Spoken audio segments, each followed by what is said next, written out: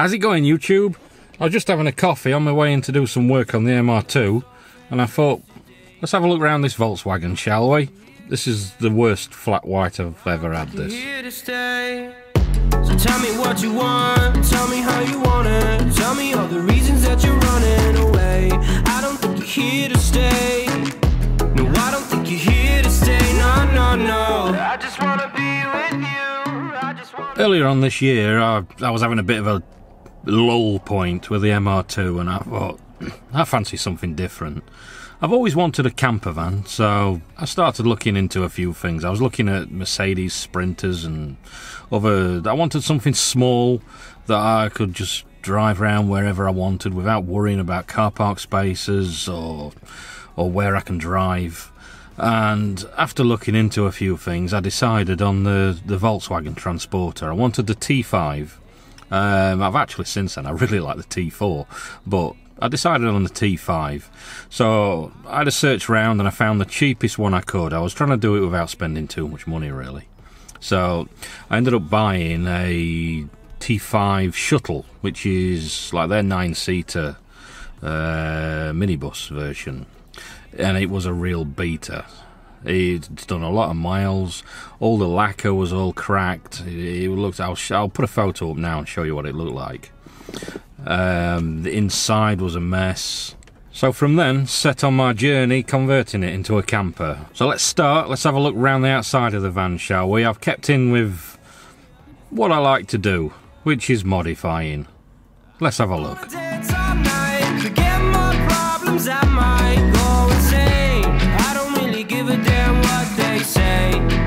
Now you know, now you know it. So what I've done on the outside is I've I've fully resprayed it. I've resprayed it the indium grey off of the the new shape Volkswagen. It came with those bars on it, but I, I tidied them up and make them look a lot better. Fitted the V-Maxx coilovers and dropped it as low as it'll go. It's about 100 mil, I think.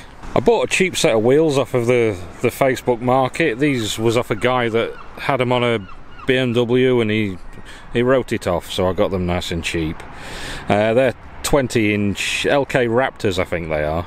Changed the indicators for those nice clear ones to get the colour off the side, keep it quite neutral. The new facelift mirrors, because it really sent me nuts looking at the stock ones because they're two different sizes. At least these are both the same size. Changed the headlights for. They was advertised as like a Audi R8 style, but they're actually quite nice. They've got the little projector beam in the middle. Took all the chrome off the grille and blacked it all. Blacked the badge. Put a little German badge on it to add a little bit of colour.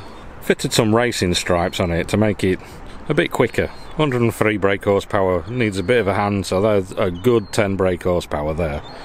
Fitted a really bright light bar. I found when I was scooting down little lanes looking for somewhere to stay, it was a bit hard to see what he was looking at, so I thought that looked pretty cool and it's super bright and useful. Sportline front skirt, I think it is. I got that off of eBay. I fitted that.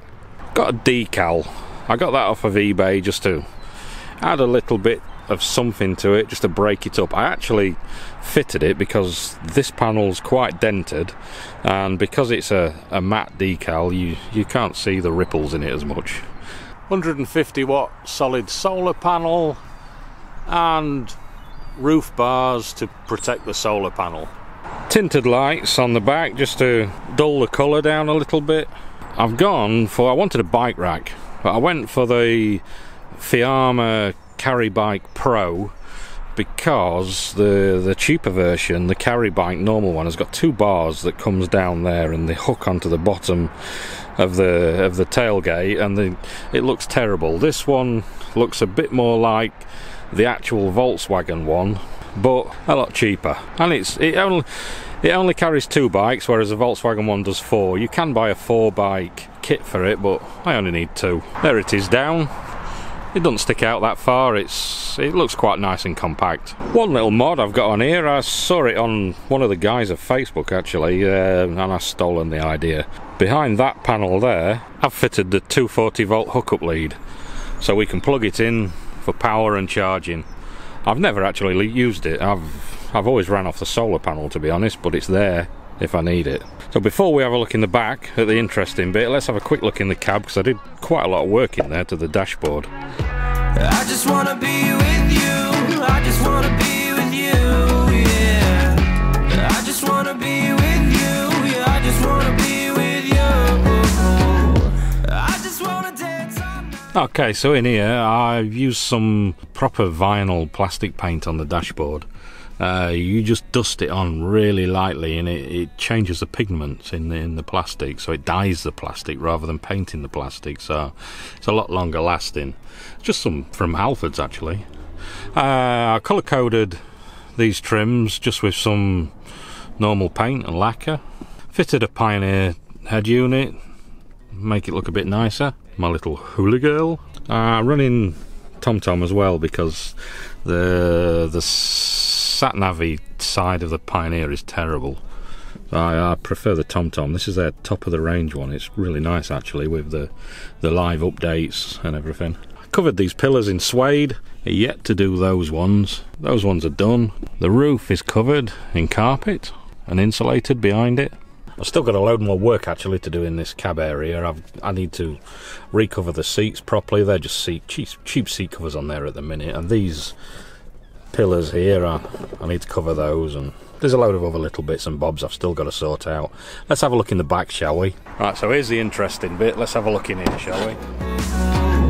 I just wanna dance all night. Forget my problems, I might go insane. I don't really give a damn what they say. And now you know, now you know it. Hey, little lady said you feel the same.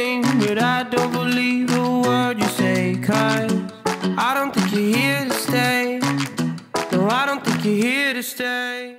Right, so everything in here I made myself, literally everything. Uh, the only thing I didn't is those seats there. The just just the cushions and the covers actually. This this bottom, those backs because I'm not an upholsterer, I can't make that. But the frame and everything I made myself. Right after I stripped everything out, I had to strip everything out, carpet the sides, fit a floor, fit a roof. Then we started making things to go inside. So the first thing was the bed. I bought these cushions uh, off of eBay as like a it was like a cheap ex stock thing. So everything in this vehicle, because these I made all myself, everything in this vehicle is based around these cushions there. They were the first things I bought, and from that I could make the bed frame, and then I'd know the width for the build the cupboards to the bed. The main thing I wanted was this frame. When I built this frame, was a lot of them I've seen they have legs down there. I didn't want those legs, so what I fitted was linear sliding rails, and then the whole thing pulls out on the rails. The rails are weight loaded, so you've got no chance of any legs coming across the floor and scratching the floor. To pull the bed out, there's literally a little lever under here. You pull that across and then pull on it. And you end up with what's quite a decent sized bed actually. I don't know what they call them. I, think it's like a, a small double, I suppose. It's, it's perfectly acceptable for two people, and I'm quite fat. If we look underneath there, you can see the linear sliders, and they're rated at, I think it was 160 kilograms each, which is plenty. In the back corner, I've got a nice little bed light which has got a USB socket on the side and I've got a little elastic thing to put your phone in so you can leave your phone on charge and it's nice and convenient. I did have a problem with the the gap here between the end of the bed and the tailgate. There was a, there was a gap there and my pillars kept falling down the gap so I've built a little shelf on the tailgate and it closes that gap up quite nicely actually. After I built the bed and got the bed in, then it was next to build the cupboards. I built them as you can see to the same width as where the bed comes to. Behind there is the electrics. In here, like a little wardrobe area. This one too. We'll have a look from the back in a minute. I fitted a gas strut into the frame to help bring it back to a chair. So literally, to put it back as a seat, we grab it down here and pull it up. To get the measurements for the cupboards, I started off with the width of the fridge and then I spaced out everything in between that particular one there has a little porter toilet in it and I needed to get that width exactly the same. In there's my emergency toilet, just in case. I've never used it, but I'd rather have it and never use it than need it and not have one. There's a cupboard with cooking utensils and plates etc. This has got the water storage, we'll look from the other side. Because this is a twin slider, you can get to this from the back. So I made that so I could change these water bottles and the gas bottle from the back of the vehicle, from the outside, so we're not dragging it all inside. Drawer for storage, all sorts of crap in there. And the Waeco Dometic fridge. I've chose this one because this is the lowest power consuming fridge you can buy. It's quite expensive but worth it. Up here we've got a two ring gas hob and the sink.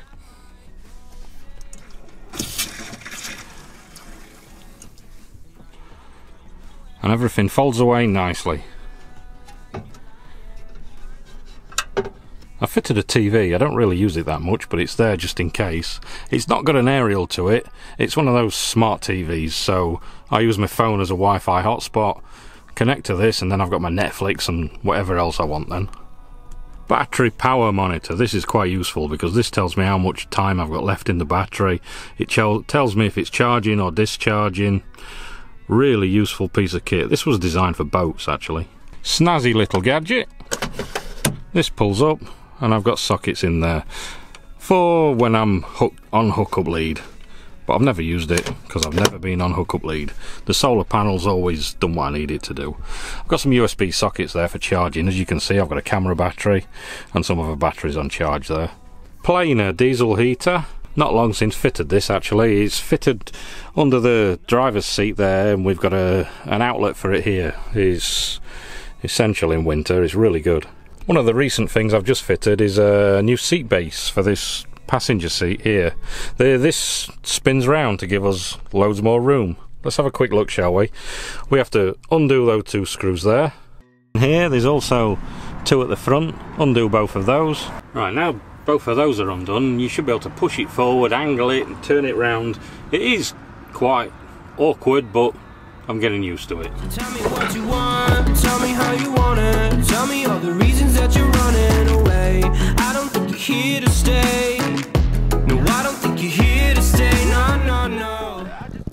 And there you have it. Even more room in the front. That's a lot better.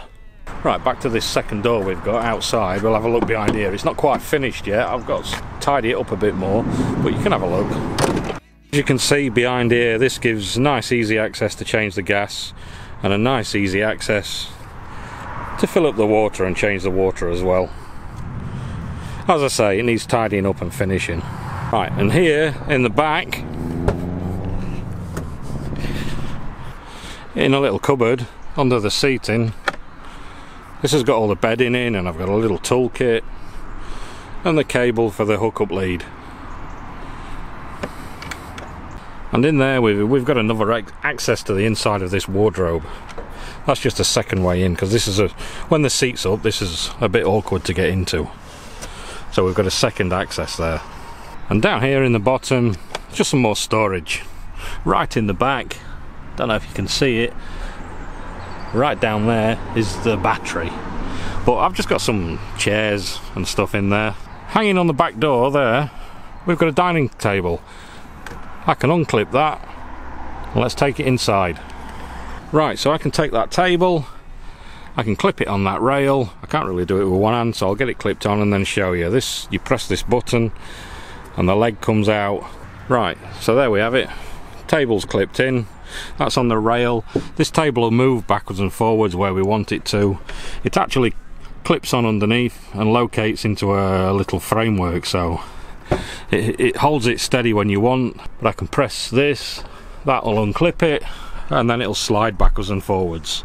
And I made this the same as the worktop so everything matches in. And that's about it guys for a look around. I've not gone into too much detail about anything because it's it's a lot if there's anything specific you guys want to know about like the charging system because I run off solar I never use a hookup lead at all to be honest this the solar and the split charging does me so if there's anything specific you guys want to look at on any of the vehicle Uh, I'll see if I can do a video on that. Just just explaining a bit more in detail about what's being done. Don't forget to hit like. Don't forget to subscribe to the channel. We're going to do some more stuff on this. And I'll see you guys later. Cheers. So tell me what you want, tell me how you want it Tell me all the reasons that you're running away I don't think you're here